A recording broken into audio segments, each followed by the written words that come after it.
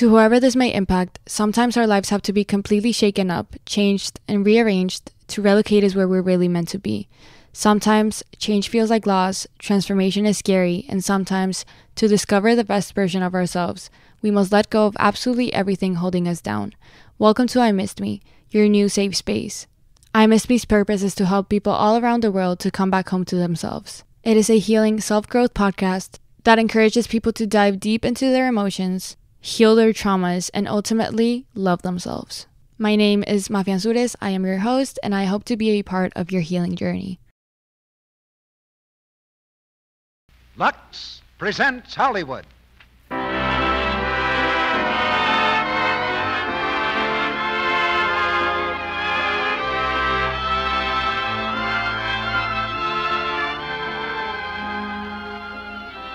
The Lux Radio Theater brings you Alice Faye, Edward Arnold, and Victor Mature in Lillian Russell. Ladies and gentlemen, your producer, Mr. Cecil B. DeMille.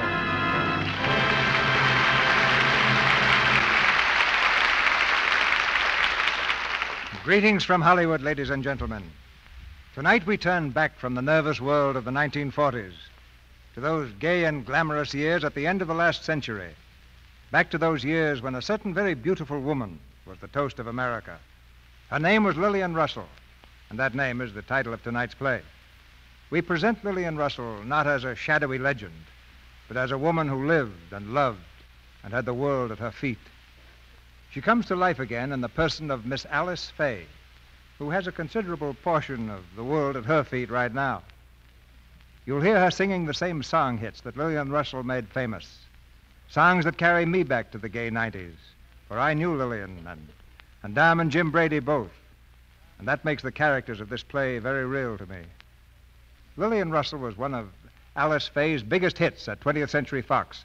And those who saw it on the screen will also remember Edward Arnold's great performance as Diamond Jim Brady.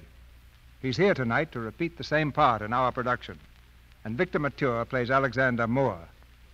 This drama of a woman noted for beauty is brought to you by a product dedicated to beauty Lux Toilet Soap. The millions of women who use our product are responsible for its good name.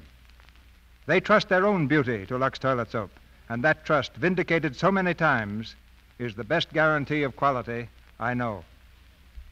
This coming week, I'll see many of you in person, because tonight I'm leaving for the Chicago premiere of my new picture, Northwest Mounted Police. And I'll have several stars with me. Stars you've heard on the Lux Radio Theater.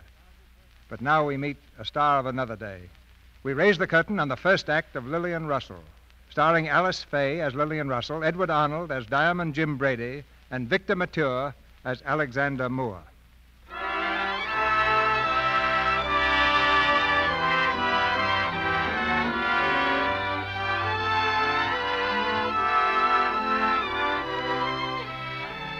In 1861, a baby girl was born to a Mr. and Mrs. Leonard of Clinton, Iowa.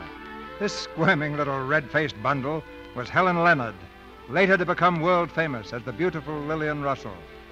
Throughout her first night in this world, young Helen screamed lustily. The fond father, gazing into the tiny face, shook his head in wonderment. Well, young lady, I'll say one thing for you. You've got a good voice. Eighteen years later, in New York City, a man named Leopold Damrosch used almost the same words, this time after listening to Helen sing. Yet hold the lads, they smile on me when coming through the ride. Well, young lady, you have a good voice, a very good voice, but not for grand opera. Oh, Mr. Damrosch, No, no, please. no, I'm sorry to say it, my dear, but you cannot sing opera. Grandma, did you hear? Now, now, don't let it upset you, Helen. Oh, Grandma. Stop it, stop it at once. What is the matter? Grand Opera was our ambition, Mr. Damrosch. We moved all the way from Clinton, Iowa to New York just What do so. you mean, we? Are you a singer, too? I can remember having rather a nice voice when I was young. Oh, of course, everybody remembers having a good voice when they were young. Well, it was good. Oh, please, Grandma. She's just excited, Mr. Damrosch. I know, I know she's like all grandmamas. Your mama's dead, young lady? Oh, no, Mr. Damrosch. Why is she not with you? Well, she happens to be very busy right now. You see, Mother's in politics. Oh, suffragette. She's just been nominated to run for mayor of New York City. Mayor of New York, a woman? Ah, I suppose you taught her such nonsense, eh? On the contrary, Mr. Damrosch. I believe a woman's place is in the home. You're. And I'm right about Helen, too. She has great talent, Mr. Damrosch, whether you think so or not. Oh, Grandma. Ladies, the interview is ended. Good afternoon, please. Very well. Come, Helen. There are many teachers in the world. And too many grandmothers. Young lady, you will come back tomorrow at three, please, At Three? for your first lesson. Oh, Mr. Damrosch, are you really going to teach me? I am. I like you very much, and I am sorry for you. Sorry for me. Why do you say that? Because you are beautiful, and even though you might have great success, you will most likely be very unhappy. Beautiful women generally are. But why, Mr. Damrosch? Why? because so many men will fall in love with your beauty, you may never know which one really loves you. Uh, three o'clock tomorrow, yes? Three, Mr. Damrosch. Go right across 14th Street, coachman. Yes, ma'am. Oh, Helen, isn't it wonderful? A pupil of the great Leopold Damrosch. And he is great, my dear. Why, he was famous in Europe long before he came to America. The old buzzard. Oh, Ginger. Oh, Teddy. Coachman, what's the matter? That band music. The horses don't like it. Well, turn off the street. Oh, look, Grandma. It's a suffragette parade. Oh, Ginger. Equal rights for women. Votes for women. They ought to be home taking care of their kids. Easy, boy, easy. Oh, oh there. Helen, they're running away. Sit down, Grandma. Stop them! Stop the carriage! Oh, oh. We'll be killed! on, hold on, Grandma. Help! Hold on. Head them off. Head them off. Grandma. Oh there.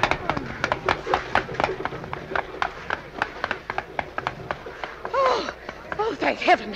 Let me out of here. Easy now, easy. Grandma, did you see? That young man stopped us. He ran right into the street in front of the coach. Uh, young man, come here, please. Yes, ma'am. Is there uh, anyone hurt? No, no, we just wanted to say thank you. I saw what you did running in front of the horses that way. Oh, that's all right. I'm I'm glad you weren't hurt. Hurt? Young man, if it weren't for you, we'd have been killed. Oh, I just happened to be in the way. That's all. You're very brave. And uh, if you don't mind my saying it, you're very beautiful. Thank you again, young man. Uh, come along, Helen. Bye. Goodbye. You're a very brave fellow. Hmm? Oh, thank you. The young lady. She's very lovely. What's her name? I don't know. You saved her life and don't know her name. You're also a very stupid fellow. What's your name? Moore. Alexander Moore. I should hate to save such a beautiful creature, never know who she was. Well, I'll find out someday, perhaps. Bravo. When you do, tell me, please, so I can invite you both to my theater. Tony Pastor's theater. Well, sure. Thank you.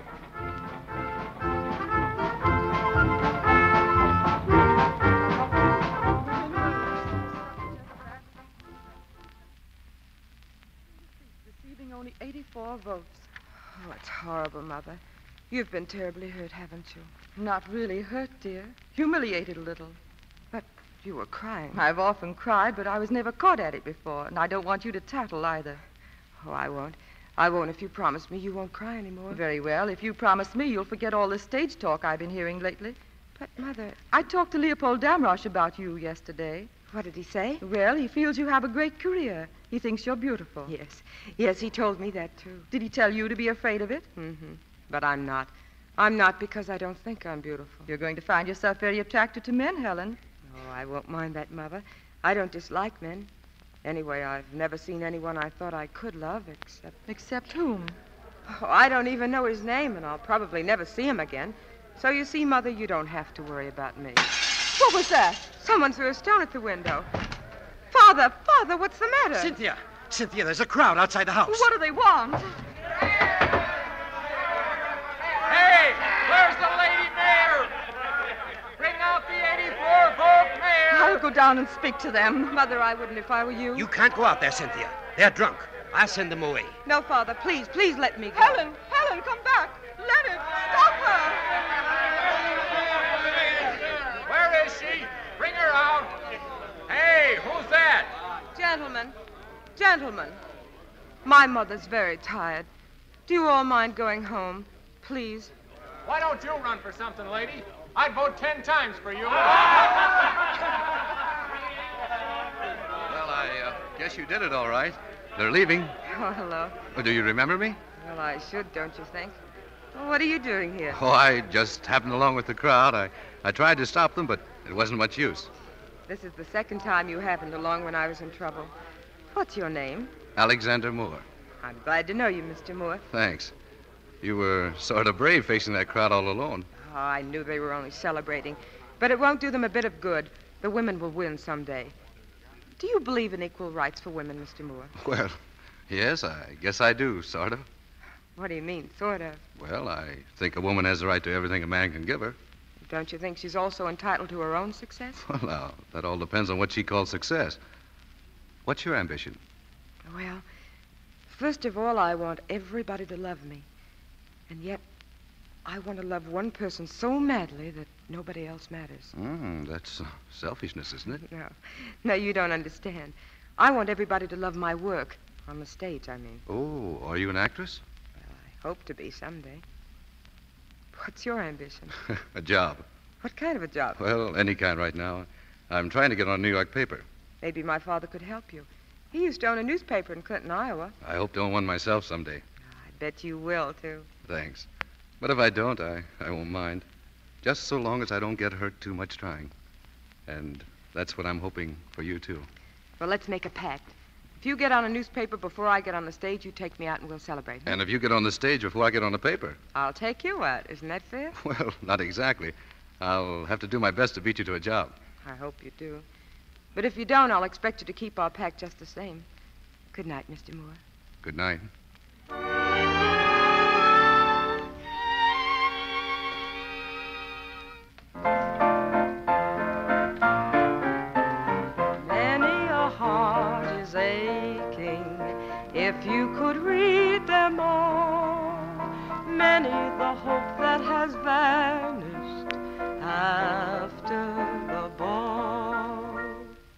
That was fine, Helen.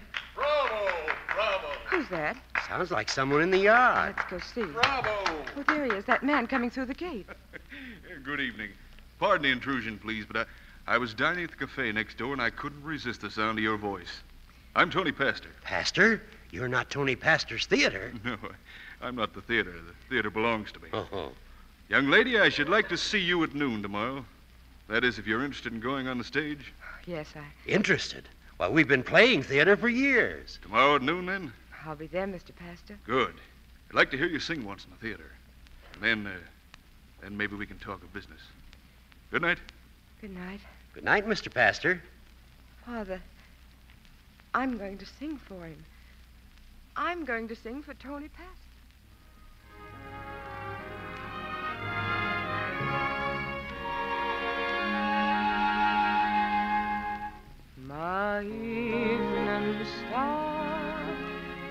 Wonder who you are. Sit up so high, like a diamond in the sky.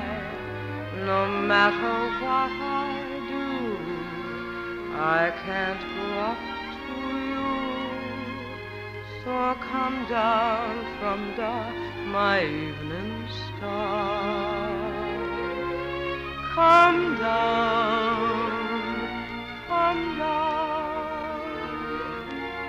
come down from the my evening star. Good. Very good. Uh, come here, please. Uh, sit down, please. Thank you. Did, did you like it, Mr. Pastor? I liked it very much, miss. Uh, Helen Leonard. oh, yes. I don't like your name. Here, let's see. What shall we call you? What's your favorite flower? The Rose. Rose?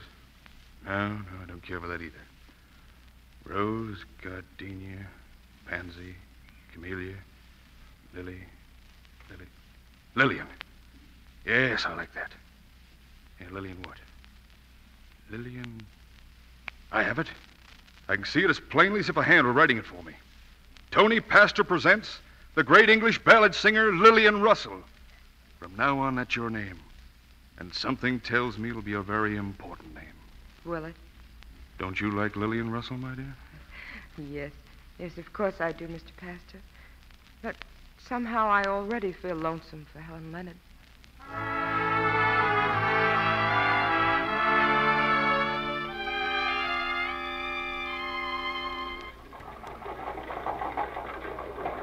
Lillian Russell, the English songbird, appearing this week. Who's Lillian Russell? Now, there's her picture on that poster. They say you can't buy a seat at Pastor's. She's lovely, isn't she?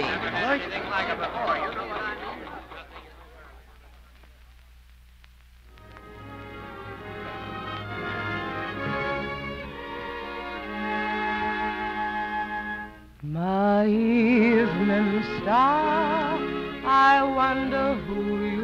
No seats available, sir. Standing room only. Oh, this, this is all right. Oh, good evening, Mr. Pastor. Can't you get a seat either? Huh? Oh. I always watch the show from here, Mr. Mr. Moore, wasn't it? Yes. She's wonderful, isn't she? Wonderful. She's the greatest success I've ever had.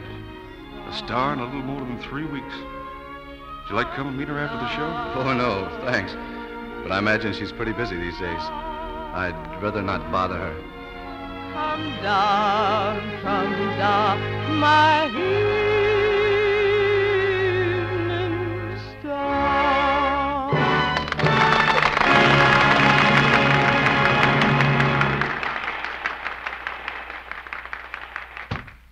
Oh, Grandma, weren't they wonderful? And weren't you wonderful? Oh, look, even more flowers than last night. And the same basket of roses again. Oh, I hope there's a card with them this time.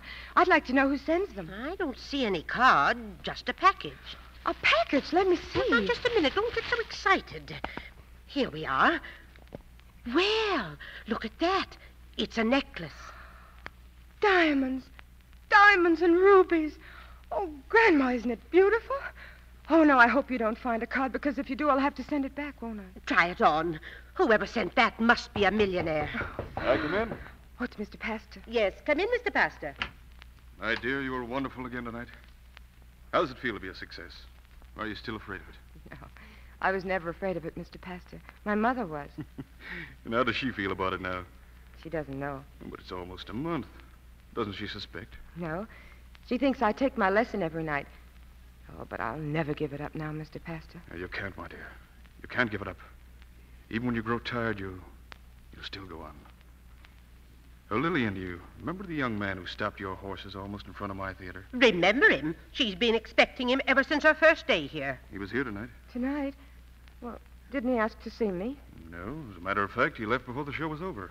Oh, Good night, my dear. good night, Mr. Pastor. Good night, Grandma. Good night. You see, Grandma, he does know I'm on the stage, and he's forgotten our pact. Very well, I'll forget him. That may be easier said than done, Helen. I think you fell in love with that young man. Oh, don't be stupid, Grandma. I scarcely know him. Why should I love him? Just because he stopped our horses, any gentleman would have done the same. And besides, maybe he'll come back again tomorrow night.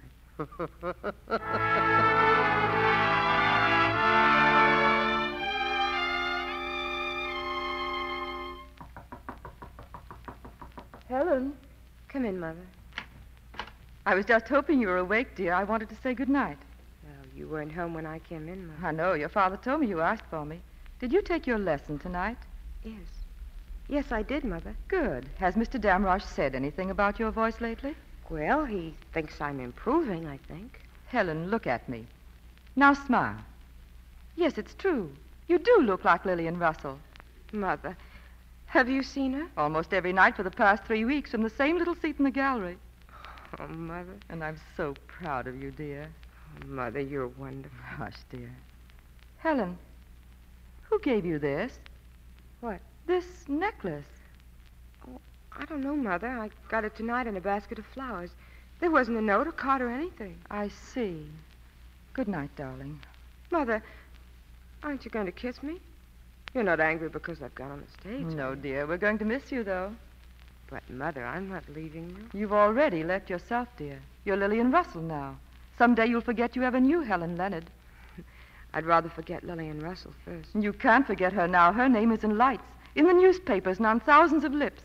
Millions of new faces will take the place of the old ones. Men will offer fortunes just to stand in the shadow of her glamorous career. Women will envy but copy her, and even kings may applaud her. Mother, uh, do you really think I'll be that successful? I'm afraid you will, dear. Good night, my darling. Good night, Mother. Millions of new faces. Men will offer fortunes. and women will copy her. Oh, I hope I like you, Lillian Russell.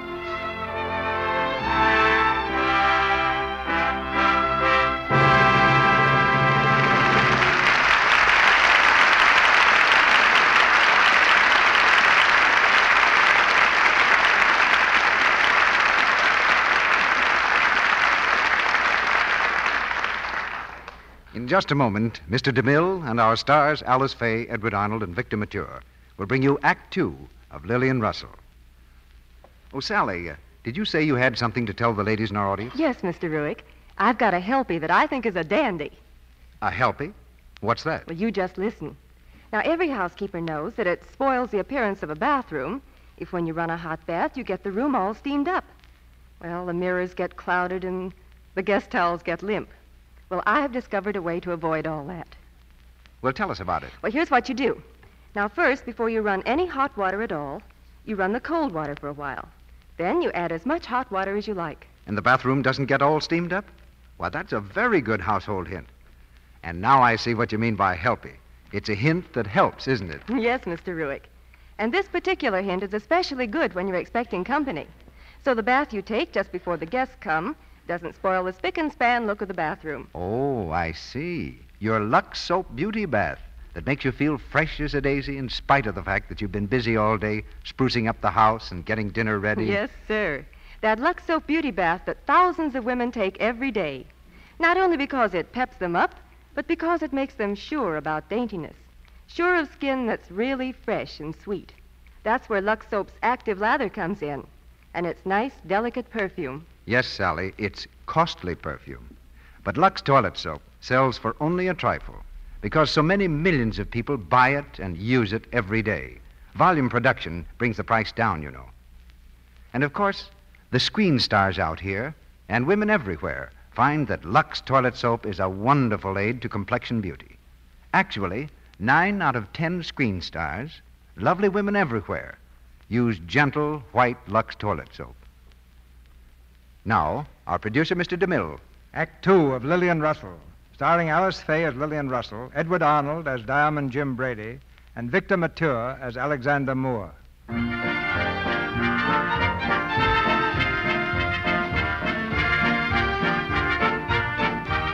the few years that followed, the marquee lights of New York told the story of a girl's rise to glory.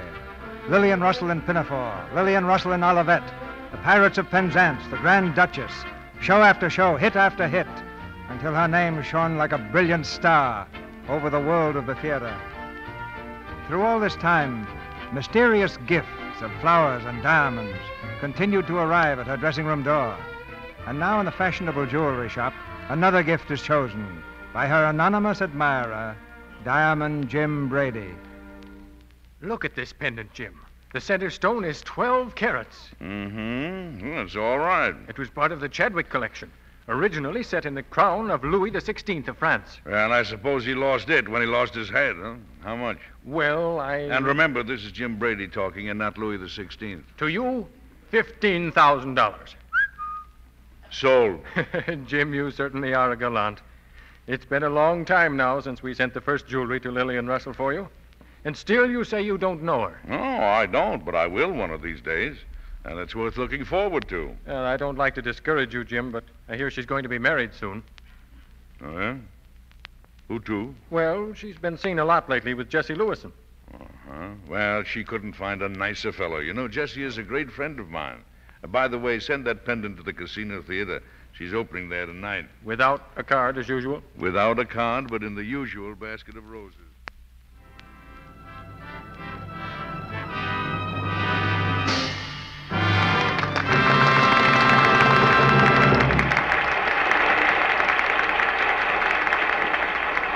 More beautiful than ever. The second act's as good as the first. This is Lillian's greatest triumph. Well, she's done it again. That girl is marvelous. You like her, don't you, Jim? Well, don't you, Edna? Yes, but I'm a little jealous of the way you look at her. Oh, don't be silly. I don't even know her. You will. Hello, Jim. I was just looking Hello, for you. Jesse. How Oh, I, be- I beg your pardon.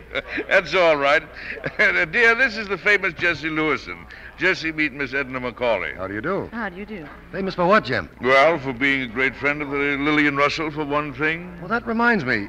Would you like to see something very interesting? He would if it's Lillian Russell. Well, it is. She's going to sing over the long distance telephone for President Cleveland during the intermission. You mean she's going to sing here and the president is going to listen in Washington? Exactly. After the show, we're all going to Rector's. We'll expect you both. Rector's? I'll be there. oh, by the way, uh, Edward Solomon's coming along. Solomon? Yes, the young fellow who writes his songs. He's rather jealous of Lillian and inclined to be a little hot headed. Don't pay too much attention to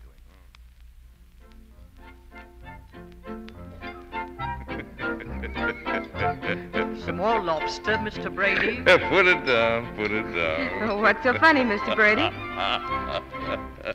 I was just thinking of President Cleveland at the other end of the telephone wire, listening to Lillian Russell when all the time you were really singing to me. Well, I was very nervous, and you were very encouraging. Yes, I don't think you could have done it without him, Lillian. Oh, Teddy. Oh, now, Mr. Solomon, I didn't say that. By the way, you were very good tonight, Mr. Solomon. You played the piano beautifully. You flatter me, Mr. Brady. Oh, no, no, not at all. I've been an admirer of yours for some time.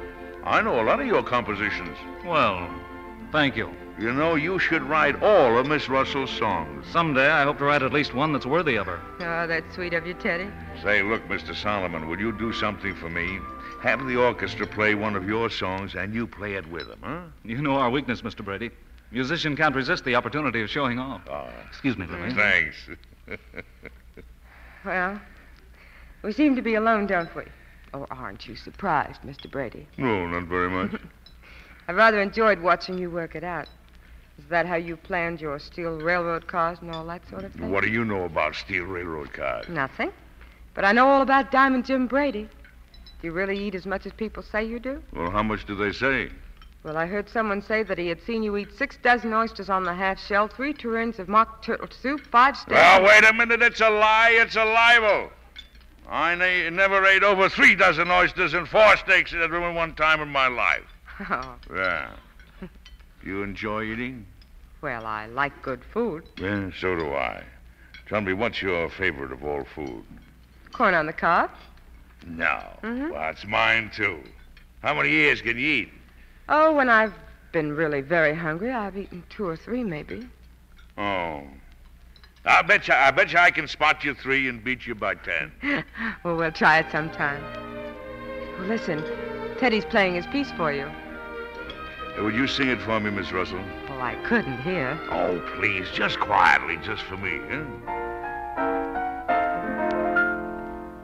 Adored one, my wonderful adored one, so lovely, so charming and divine, just like a melody, you seem to haunt me, to taunt me, won't let me free. Adored one, you smile and you enchant me. Please grant me the right to call you mine. My heart will sing again, my darling, when you do. Adored one, I'm so in love with you.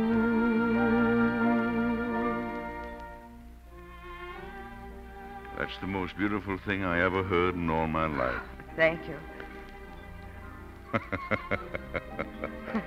Well, what are you laughing at now? oh, at myself. You know, I've been waiting years for the night just to be alone with you. And all I could talk about was corn on the cob.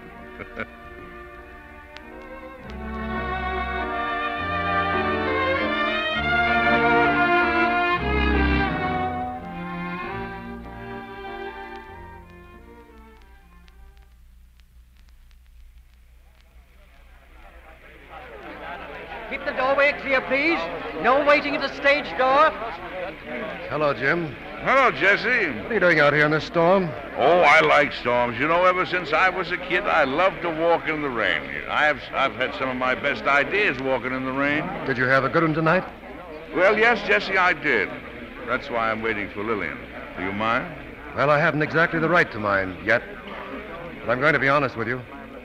I love Lillian, Jim. I'm glad you told me, Jesse. And I'm going to be just as honest with you. I love her, too. All right, Jim. Let the best man win. Yeah, and we let the loser be the best man at the wedding, eh? Stand back, please. Harry, pull up that carriage, quick. What's the excitement, Joe? The company just found out about the folks getting married today. Somebody in the show getting married? Who? Didn't you know, sir? Mr. Solomon and Miss Russell. They got married this morning. Here they come. Congratulations. Good luck, Miss Russell. Good luck, Mr. Solomon. Solomon. Hmm. I never figured on him. Well, Jim, it's still raining. Got another idea? No. I guess that was my last one.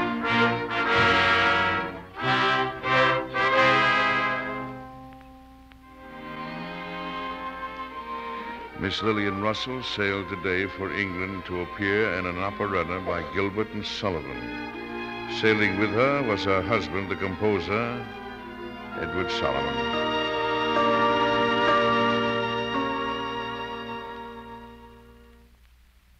Will you have your dinner now, Miss Russell? No, thank you, Marie. I'm not hungry. Aren't you feeling well, Mum? I'm tired, that's all. I thought perhaps London didn't agree with you, Mum. Oh, no, Marie. I love London. I'm glad you stayed away from rehearsal today, Mum. You were in the theater all day yesterday. I don't blame Mr. Solomon for wanting you to rest. I never get tired of the theater, Marie. Oh, I'll go. It's probably Teddy. Hello, darling. How did everything go? Oh, fine. I was completely successful. Not only did I get you out of the rehearsal, I got you out of the show. Stop joking, Teddy. What happened? I told you you're fired. Simply because I missed rehearsal? That started the argument. Oh, now you didn't lose your temper again, did you? Very well, crawl to your London tramp if you want to. Get on your knees to Mr. Gilbert and apologize. I don't care. I can even tell you exactly what he'll say. My dear Miss Russell, of course I want you back, but I don't like your meddlesome husband. He's selfish and stupid, and he doesn't want anybody to do anything for you but himself. That's what he'll say to you. Unfortunately, it's the truth, every word of it. I can't help myself, Lillian. That's how I feel about you. I want to write you the greatest operetta of your career. And I can do it if you'll have faith in me. I'll start tonight, this very minute. Teddy, darling, sit down beside me. I know what you want to do for me, and I love you for it. And someday you will do it. You have faith in me? You have? Yes, Teddy. And if I'm out of this show, I don't care, because I know how good yours will be. Oh, Lillian, I'm a very selfish person. I'm willing to risk your career as if it belonged to me. And it doesn't. I belong to you, Teddy. It may mean months and months. I'd be working, nothing coming in. We couldn't live like this, darling. Then we'll move to a less expensive place, and we'll be just as happy as we are now. Lillian, Now take me in your arms. Hold me tight. And never let me go, darling.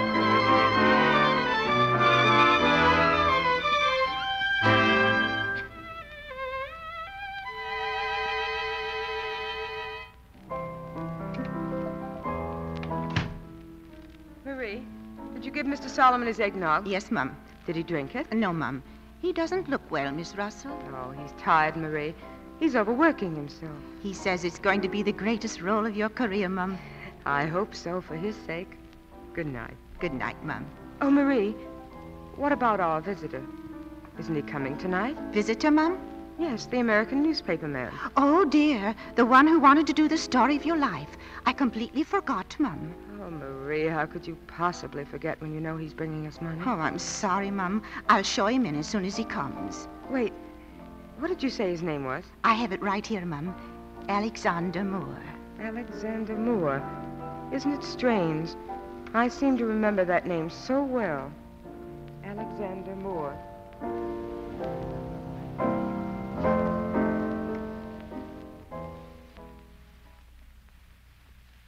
And Now, this is the agreement, Miss Russell. It gives our paper the exclusive right to publish your story. You'll have to sign where it says accept it, and uh, this is your check. Tell me, why did you break our pact, Mr. Moore? Our pact? Mhm. I didn't think you even even remembered me, Miss Russell. Oh, that doesn't answer my question, Mr. Moore. Well, I don't think I can answer it without quibbling a little. You see, I made my pact with a girl named Helen Leonard. When I found out she was Lillian Russell, well, I got scared, I guess. It seems a long time ago, doesn't it? Yeah. I can see it all as if it were yesterday. We had just left Professor Damrosch's house, and all at once it happened. You seemed to leap from nowhere, and I, I thought you were going to be killed. Oh, I was afraid you were. And here we are, years later, signing a contract for my life story. Would have been a very short one if you hadn't have been so brave. Maybe it wasn't bravery. Maybe it was just a newspaper man saving a good story.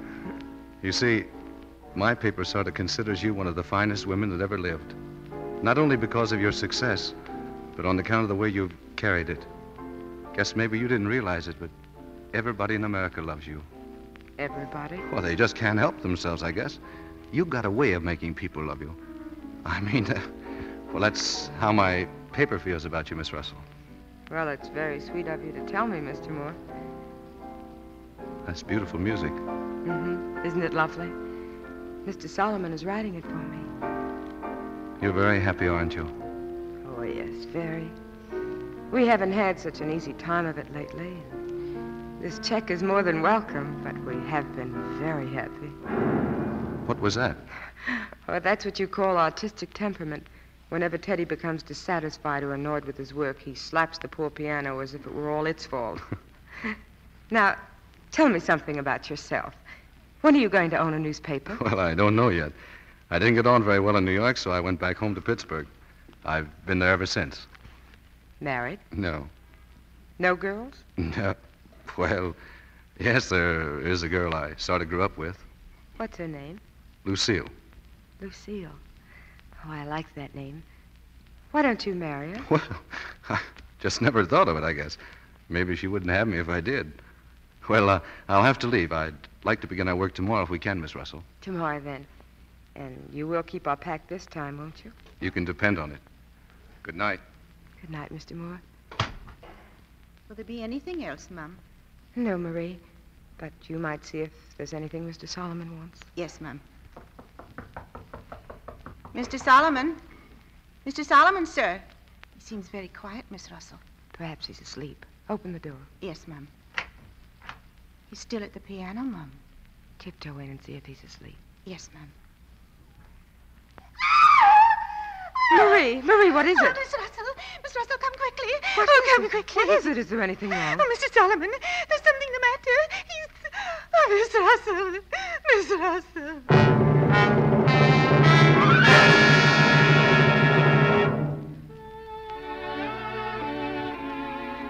Lillian Russell's husband dies in London. The composer Edward Solomon was stricken with a heart attack last night while working on an operetta for his wife.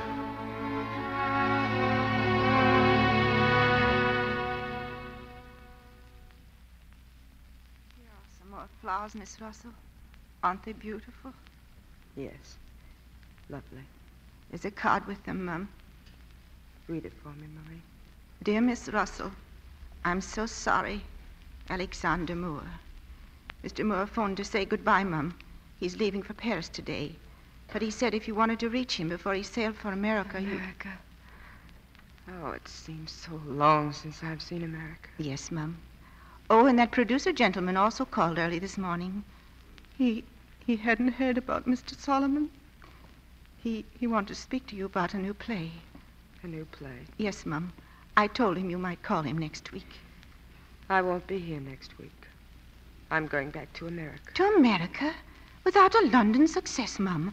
Oh, you can't. What do you mean, Marie? Mr. Solomon, Mum. He wanted it so much. I heard him say it time and time again. We'll bring London to your feet, he'd say. That's why he works so hard, Mum, writing his music for you.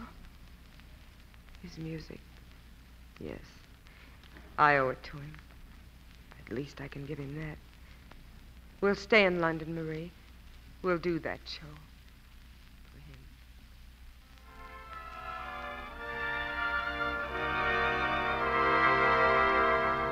Blue lovebird, your song's a tender thing that wasn't meant to sing alone. Blue lovebird, still singing for your mate, but it's your fate to wait alone. Once there were two of you singing to the dawn. What can a lovebird do when his love has gone?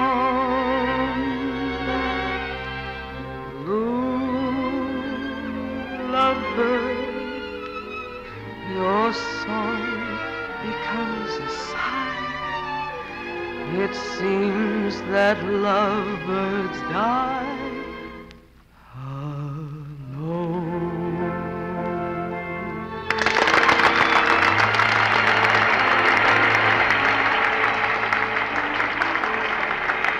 They liked it, Teddy. They liked your music.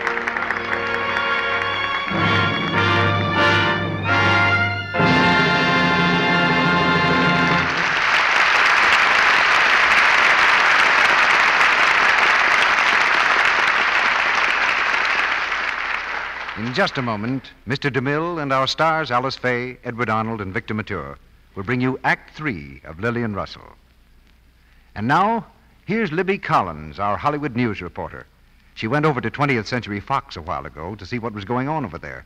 And if I know Libby, that gleam in her eye means she came back with a real story.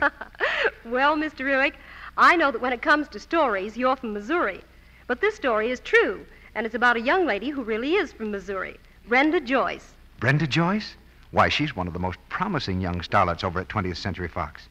I'll never forget the way she played the part of Fern Simon in The Rains Came. Wait until you see her in her new picture, Public Deb Number One. I watched her working in a few scenes over at the studio. She's terrific. And uh, did you notice her lovely complexion, Libby? I certainly did, Mr. Ruick. Brenda follows the lead of nine out of ten famous stars. She uses Lux toilet soap, too. Smart girl, Brenda. But tell us, Libby, what's she like? How'd she get in pictures? Well, Brenda's blonde, five feet four inches tall, and weighs 112 pounds. And she's every bit sheer glamour. She's been living right here in Hollywood since she was five years old, you know. Eventually, she went to work as a photographer's model. And all the local photographers called Brenda when they wanted a typical American girl type. And then one day the usual talent scout noticed her? Right. But the rest of the story is unusual. Her screen test was so extraordinarily successful that she was assigned that first part of hers, Fern, and the rains came. And guess what she says about Lux toilet soap, Mr. Ruick? Go ahead, Libby, let's hear it. Brenda says she uses Lux toilet soap every day. She never neglects her daily active lather facials because they really work. She says they're the right care for her skin. Well, thank you, Libby. And say thank you to Brenda Joyce for me next time you see her. And now, for those of you who haven't already tried it, here's the way to take the Lux Toilet Soap Active Lather Facial famous Hollywood stars use every day. They know Lux Toilet Soap's active lather is gentle, does a thorough job of removing dust, dirt, and stale cosmetics. Just pat the rich active lather gently into your skin. Rinse with warm water, then a dash of cool. Then pat your face lightly to dry. This active lather facial leaves skin feeling smooth and soft and looking so fresh. Just try it for 30 days. See what this care Hollywood screen stars use can do for you. We pause now for station identification. This is the Columbia Broadcasting System.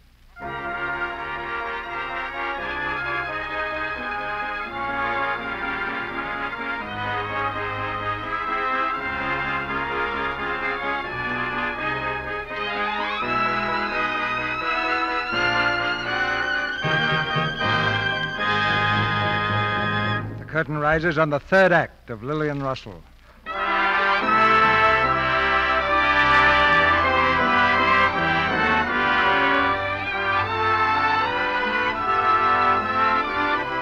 With the applause of London still ringing in her ears, the homesick Lillian Russell returned at last to America, to Broadway and her old friends. On a Sunday afternoon, the strollers in Central Park were treated to a rare sight. A bicycle built for three, speeding along, pedaled gaily by a trio of celebrities Jesse Lewisohn, Lillian Russell in her famous white cycling dress, and Diamond Jim Brady in peaked cap and knickers. Stop it, stop it. I've had enough. Stop it. I couldn't pedal another foot. Pull up, Jesse. I think Jim's tired. Tired. We've exhausted him. Oh, oh, I couldn't pedal this thing another ten feet. Let me sit down somewhere. Oh, too many laughters. No, and going on the cob. Say, that reminds me, didn't you promise we'd stop off for, for something to eat? That's what's the matter with me. I'm weak. Oh, I'm sorry, Jim, but I've got to get back. There's my carriage waiting. oh, you don't have to leave us now, do you, Lillian? Oh, I'm due at rehearsal. Carriage. Well, when will we see you again? Not until after the show opens, Jim. I'm going to be very busy till then. Hmm, all right, but I'll be there for the opening. Bye, Jim. Bye, Jesse. Bye. What are you laughing at? oh, you and me. Every time I start out with Lillian, I end up with you. I don't think it's so funny. You don't either. I know you, Jim. You laugh when you're hurt. You still love Lillian, don't you? Don't you? No? I'm being honest with you again, Jim.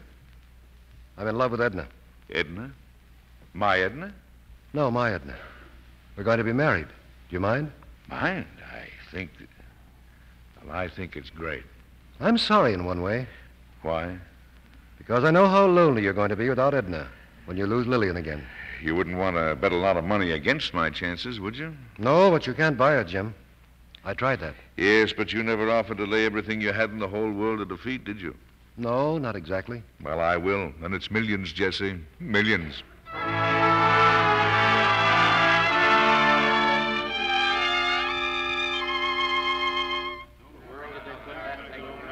Ten minutes to curtain time. Curtain time. Ten minutes. Marie, we'll have to fix this dress again, I'm afraid. I'll put a stitch in it, Mum, in the dressing room. It won't take a minute. Marie, who wrote that on my mirror? Where, Mum? Lillian, I love you. Who did that? I did, Lillian. Oh, Jim Brady. What are you doing back here? Marie, we'll let the dress wait. Yes, Mum. Why aren't you out front? Oh, I just couldn't wait, Lillian. I got an idea, and the minute I got it, I just had to do it. You mean this on the mirror? Yes, I've been trying to say it for a long time. Ah, Jim, you're sweet. But I'm going to scold you. What, again? Mm-hmm. And seriously. I want you to look at all the things you sent me tonight. Well, but I've seen them, Lillian. Well, look at them again and try to repent your extravagance. A basket of orchids with diamond necklace and bracelet. American beauty roses with rubies. Gardenias with emeralds. Violets with pearls. And, and a bicycle of golden sapphires. Jim, have you lost your mind? No, my dear, just my heart. What? Lillian, Edna and Jesse are out front watching the show. They're married. You were fond of Jesse, weren't you? Yes, I'll miss him, Jim. He was a grand friend. But you'll miss Edna, too, won't you? I won't miss anything or anybody in the whole world if I can have you. And I'll give you everything I've got in the world if you'll just say yes, Lillian. And if at the end of a year you tire of me, I'll walk out of your life and leave you everything I've spent my life for. I love you, Lillian. Lillian, what's the matter? Why, why are you crying? Because I don't love you, Jim. And I wish I did. Oh, Lillian, come on now. Stop that. Can't you see I was just joking? the only reason I said that was because you were scolding me about my gifts, and I wanted you to believe I was serious. That's all it was. Can you imagine me being married? Why, I'd make the worst husband in the whole world because the minute you were mine, I'd begin to lose interest in you, just as I have with everything else I've gotten out of life, except perhaps corn on the cob. I would, really. No. You're not telling the truth. I've hurt you deeply, and I'm sorry. But if I married you, I'd hurt you even more because it would be gratitude, Jim, not love. And you wouldn't want that, would you? And what if I should say yes? Then I'd marry you, Jim. Do you really mean that? Yes, I do. Well, Jim, I'll bet this is the shortest honeymoon two people ever spent together. It's all over, and What's more, Miss Russell seems very, very happy about it. No. No, I'm not happy, Jim. Neither are you. We're pretty much alike, aren't we? I mean, we've each had everything life could give us except what we really want. And I've looked for it so hard. When I was a girl and I first went to work for Tony Pastor, my mother said that every success has its penalty, that somehow life has a strange way of making you pay for the things it gives you. Now I know what she means, Lillian, I wish I could give you the happiness you're looking for. and I wish I could do the same for you, Jim. Ah, there, there. Don't you worry about me. All I'm thinking of right now is what we're going to eat after the show. We have a supper date, you know. Yes. Yes, I'll be waiting for you, Jim. Good. We'll see you then, huh? Mm-hmm. Miss Russell, there are more flowers, Mum, and a message. Read it to me, Marie. Dear Miss Russell, I am in the theater enjoying your show, but I'm leaving for Pittsburgh immediately after. Would love to say hello to you before I go. Alexander Moore. Alexander Moore. You remember him, Marie. Oh, yes, indeed, Mum. Oh, I'd like to see him. Send a message back, Marie. Tell him to come during intermission. Yes, Mum. Marie, isn't it strange? I so often think of Alexander Moore and so seldom see him.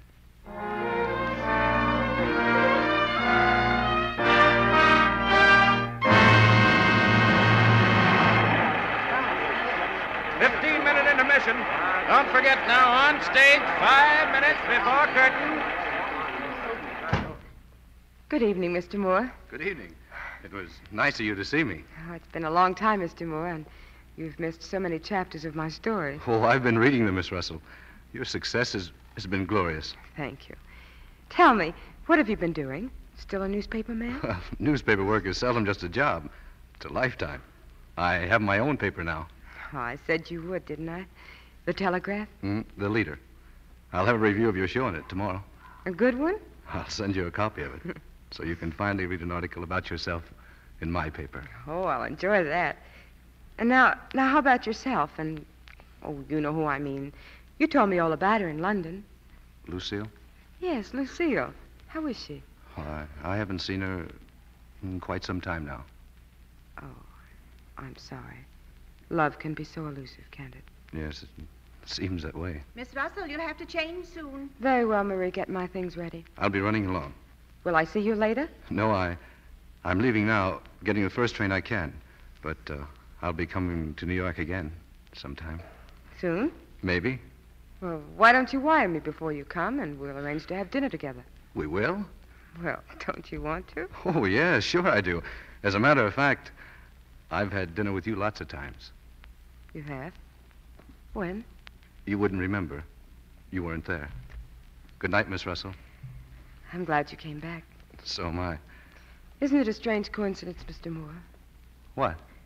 Well, ever since I first came to New York, you seem to have punctuated my life. And every time something important or serious has ever happened to me, you've come along. Perhaps it hasn't been exactly a coincidence, Miss Russell. Good night. Good night. We'd better hurry, Mum. Marie, did you hear what he said? He said it wasn't a coincidence. Do you realize what that means? Not exactly, Mum. It means he's been thinking of me all these years. He's been in love with me, Marie, almost all my life. And I think I loved him the very first time I saw him. Grandma told me I did, and she was right. Marie, Marie, find him for me, will you? He's leaving for Pittsburgh tonight, and I don't want him to go away because if he does, it'll probably be years before we see him again. Please, Marie, never mind my dress. I'll get into it somehow. Tell him I don't want him to go. Tell him anything, Marie, but find him for me.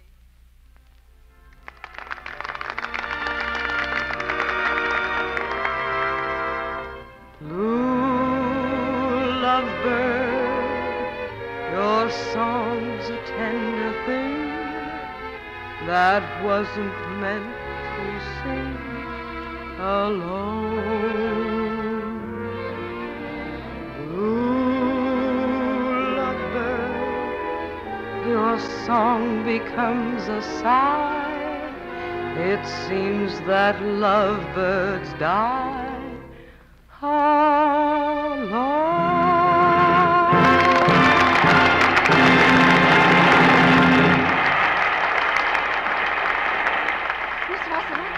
Morning, Miss Russell. He's in your dressing room. Thank you, Marie. Mr. Moore. Hello. Your your maid said that you well anyway I came back and I saw something written on your mirror and I thought I'd add to it. Lillian, I love you. Alex Moore. Alex, I'm so glad you came back. I want to make another pact with you. That's if you promise to keep it, Alex. I've never really broken it, Helen.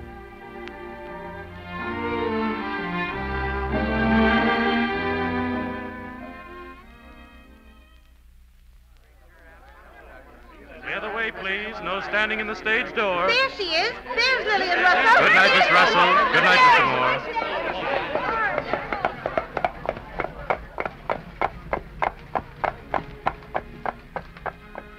Well, Jim, there they go. Yeah, she's a wonderful person, Jesse. We may have greater stars, yes, and someday even a more beautiful one. But they'll never be able to write the history of the American theater without Lillian Russell. Will you join us for supper at Rector's, Jim? That's nice of you, Jesse. But for the first time in my life, I'm not hungry.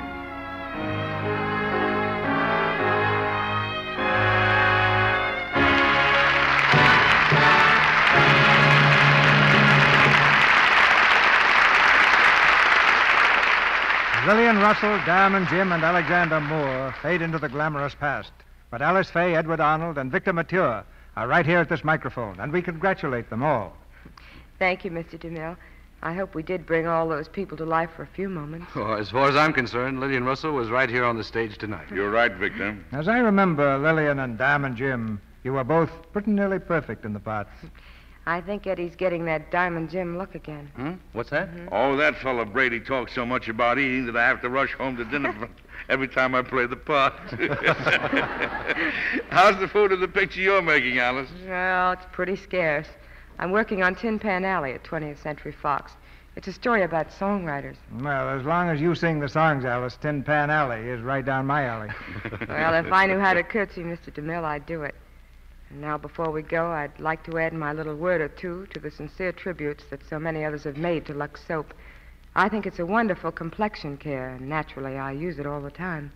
The very first time I tried Lux Soap, I knew it was the right care for my skin, and I've been a Lux fan ever since. Like one of your songs, Alice. Your opinion of Lux Soap is music to our ears. Well, what about this trip of yours to Chicago, CB, for the opening of Northwest Mounted Police? Well, Eddie, I'm leaving right now, right after the program.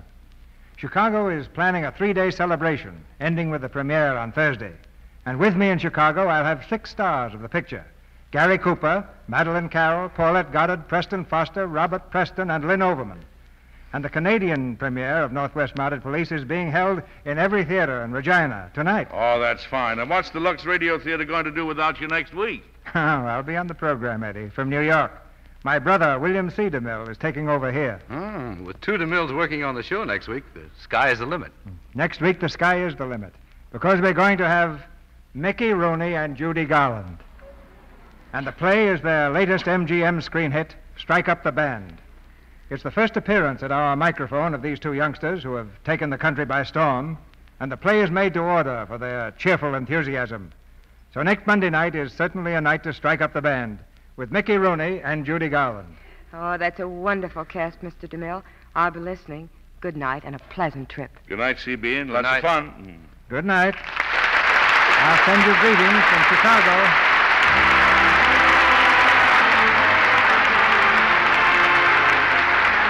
Our sponsors, the makers of Lux Toilet Soap, join me in inviting you to be with us again next Monday night when the Lux Radio Theater presents Mickey Rooney and Judy Garland in Strike Up the Band.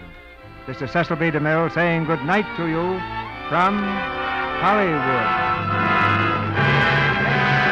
An important announcement. This is community chest time. When you are asked to help fight disease, neglect, disaster, and suffering among your own townspeople. America's strength today is the strength of her people.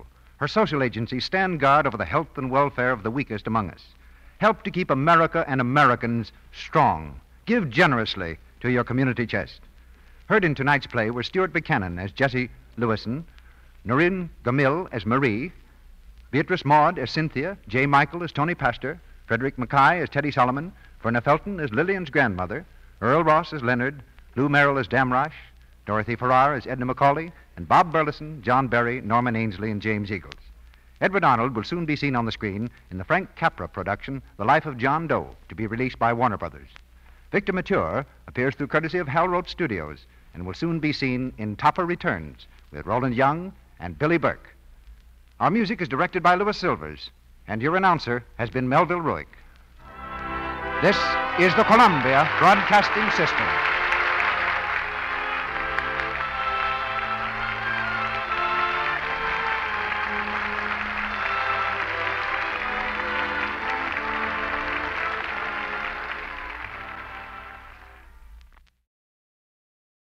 To whoever this may impact, sometimes our lives have to be completely shaken up, changed, and rearranged to relocate us where we're really meant to be.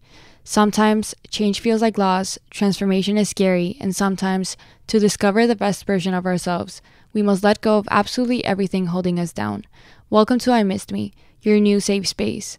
I Missed Me's purpose is to help people all around the world to come back home to themselves. It is a healing self growth podcast that encourages people to dive deep into their emotions, heal their traumas, and ultimately love themselves. My name is Mafian Sures. I am your host, and I hope to be a part of your healing journey.